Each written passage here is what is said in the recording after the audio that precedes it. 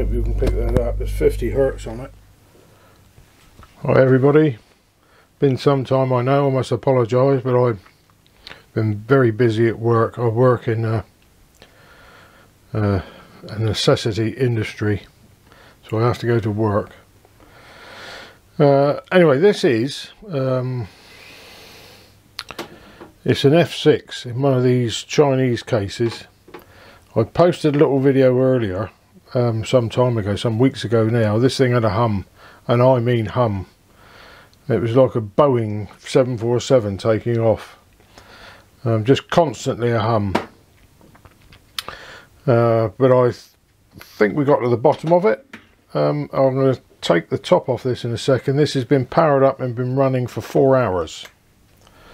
I'm around about the, if I can get it on there, get it on, about 45 degrees. Uh, about 45 degrees on the heat sinks, something like that. Um, so I don't want to tweak it anymore. It's running at, this is an F6 clone from DIY Audio. Uh, and it was built by a third party. I didn't build it, um, but the customer um, didn't like the hum, and neither did I. Uh, and I said I'd have a look at it for him, but it's turning a bit of a nightmare, really. Uh, and I just want to run through a few things that a few people may find interesting. Um, take the lid off. I have to say the quality of the case is absolutely astounding. The thickness of this, this is just the lid.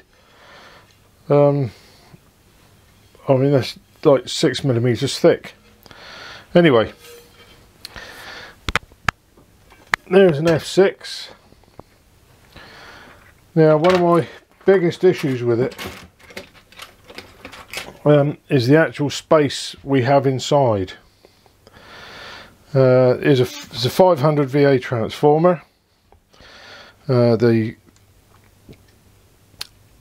dual or plus and minus power supply, the normal DIY audio power supply with some diodes uh, that which feeds the two F6 boards left and right here but the distance across here is very tight so much so the input transformers to the F6 boards are right next to all the diode banks. Um, not ideal at all. And in actual fact I've had to run the AC, uh, it, the AC in comes up and across the top I've tried to segregate the AC from the DC and the outputs. Um, you've got two speaker protection modules and a soft start module and there's just there's just not enough room there's not enough space in my view uh, to make this work well I think it could work all of my builds I've put all the AC to one end. So the AC which is the mains into your transformer and then off to your diode banks I would have had that round the other way. So all the AC was at this end close to here so you didn't have to run AC across the across the chassis as such. There is no sub chassis so you can't really go under um, like a Hi-Fi 2000 like a normal 5 or 4U you can have a sub chassis and you can run the mains under and away to a switch but you can't do that with this. So everything's being clobbered with this AC uh, cut a long story short, I changed everything. I rewired it, uh, went on DIY Audio and they said you've got to twist all these wires together, um, twist these together, twist these together, twist these together. These are secondaries not used. Uh, I've got to tidy this up yet, just finalise it. I'm going to tuck them back out the way, keep them well out the way. And twisted everything together and to no avail. It was still humming like a swine. So I then went on and changed various components. Uh, the devices, these devices um, were in it, if it will focus. Uh, there. I don't know if you can see that. these things. I've never used them, uh, but apparently they're very good. Um, but I, I was trying everything to try and stop this thing humming. In the end, um, I took all the power supply out of this case and put it to one side so that it, there was no way that any magnetic stray fields could be interfering with the electronics inside this case. Of no avail, it still hummed like a dinger.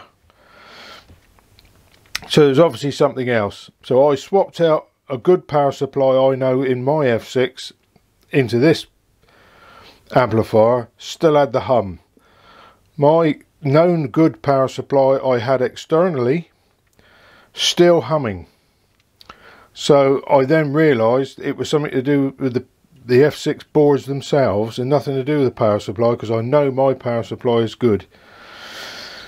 So much so I took out one of my F6 boards, put it in here along with this power supply, lo and behold it worked perfectly. Well, it worked, no hum. Uh, so I reverted back and started to inter oh excuse me interrogate these boards. And the culprits are these things.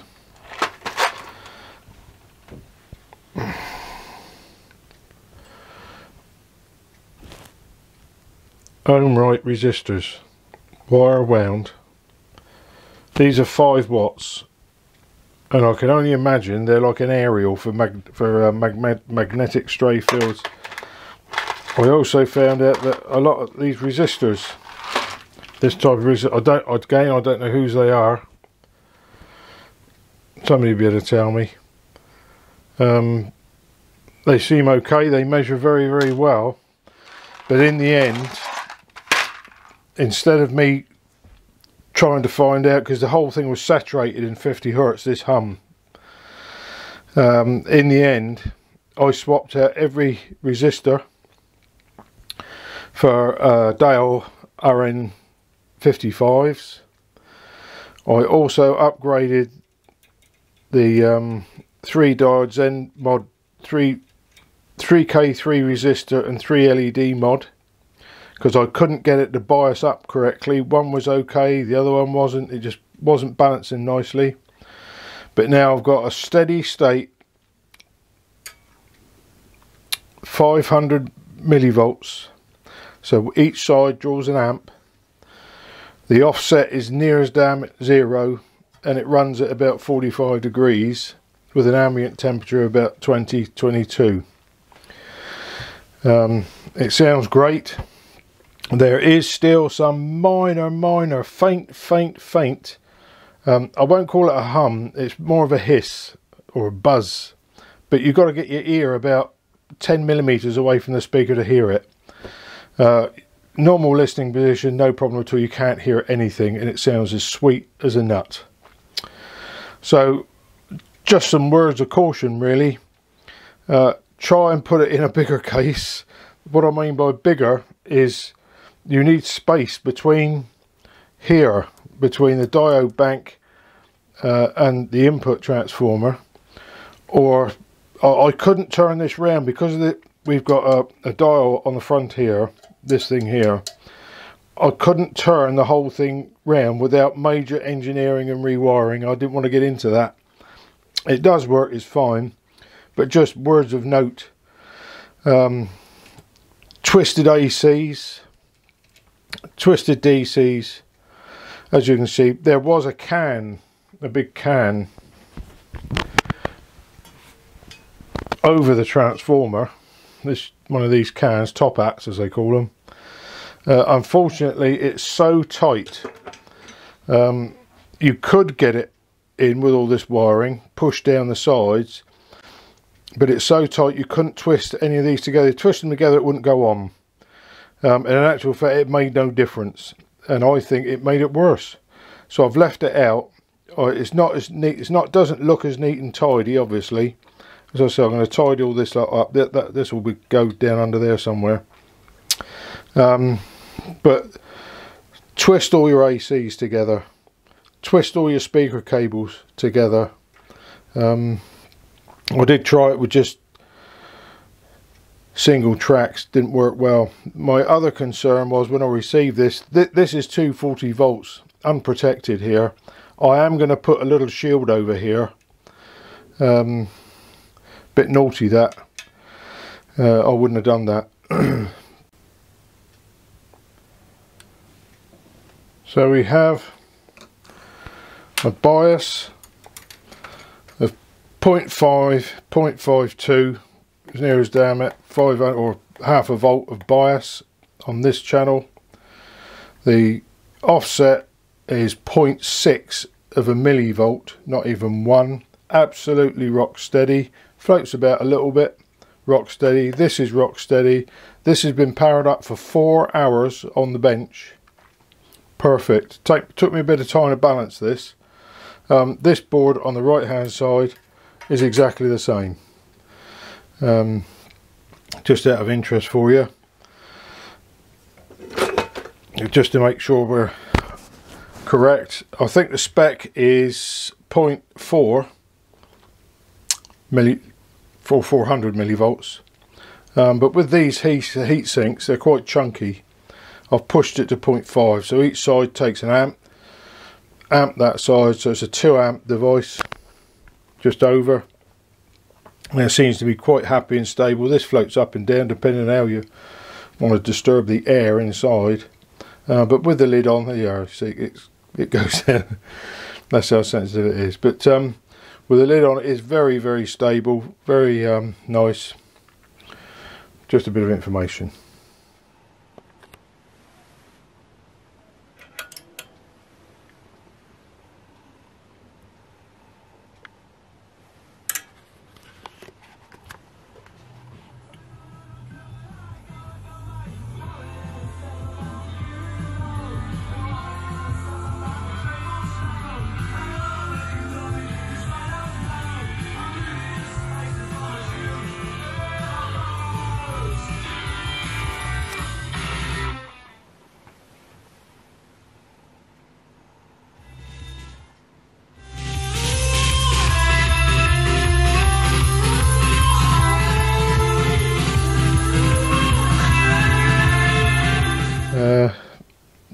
Just another one folks. Thanks for watching. I hope you keep safe. This is Laverda the implementer. I will be back with another video. Um, I don't know what of. I think it I can't remember what it's going to be. Some, some power supply I think. But um, thanks for watching. Thanks for all the thumbs up if you bother. I'm not worried if you don't. I don't I don't adhere to all that. Thanks a lot. All the best